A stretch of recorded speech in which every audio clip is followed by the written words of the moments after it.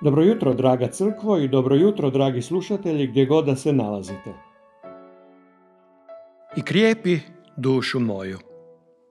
Zar se ne podrazumijeva da je kršćanin koji ima dobrog pastira zadovoljan? Da se odmara na poljanama zelenim? Zašto onda i ova izjava i krijepi dušu moju? David je znao o čemu se radi, prolazio je i sam ojađenost, osamljenosti, obeshrabrenost, obezvrijeđenost, iskusio je životne poraze i kušnje i padove. U psalmu 42. David se pita što si mi dušo klonula i što jecaš u meni. Tako je nekad i s ovcama. Mogu se prevrnuti i neko vrijeme bespomoćno ležati na leđima, ali se ne mogu same ustati. Zato je pomoć pastira presudna. Inače, taj fenomen jedva čekaju predatori. Često i najljepše i najjače ovce se mogu prevrnuti. Najčešće se događa to ugojenim ovcama. Zato pastir bdije i traži izgubljenu ovcu te ostavlja 99 drugih. Kada je ovce u takvom stanju, pastir joj pomogne da vrati ravnotežu, stane na svoje noge, oporavi se i tako dobije šansu za novi početak.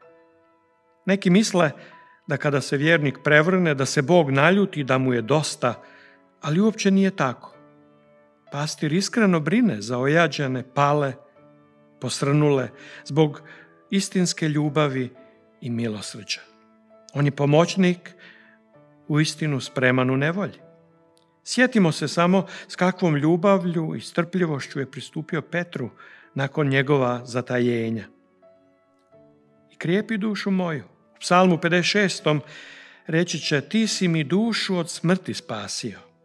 Ti si očuvao noge moje od pada da pred Bogom hodim u svjetlosti živih. Kad smo najsigurniji u sebe, znamo posrnuti i pasti. Pavao piše vjernima u Korintu i kaže, tko stoji, neka pazi da ne padne. To je čudan paradoks i enigma koja se počesto događa. Kako se to dogodi ovcama?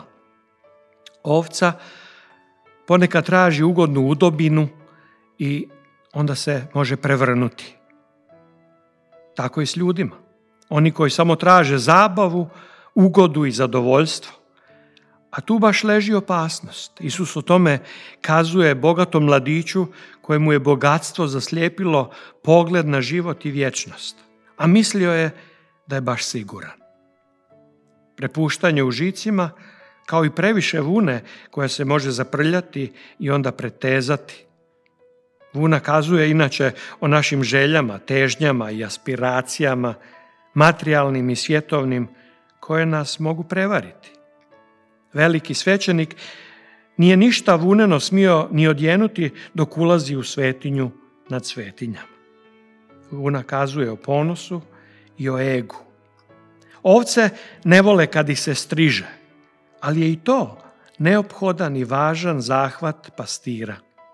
Inače, budu pune prljavština, čičaka, buha i mnogo toga sličnog. Dakle, neugodno, ali ostrižene mogu krenuti s novim početkom, tako očišćene.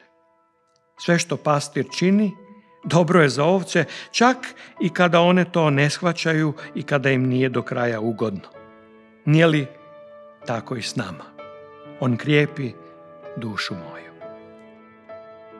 Slušali ste emisiju Jutarnja misao, audio pobožnost koju vam je donijela crkva Radosne vijesti iz Osijeka. Ako vam je bilo korisno, pozivamo vas da nas posjetite osobno ili na našim online mrežama i želimo vam Boži izobilan blagoslov.